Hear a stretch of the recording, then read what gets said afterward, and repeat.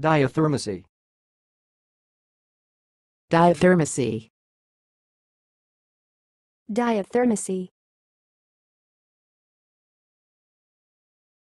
Thanks for watching. Please subscribe to our videos on YouTube.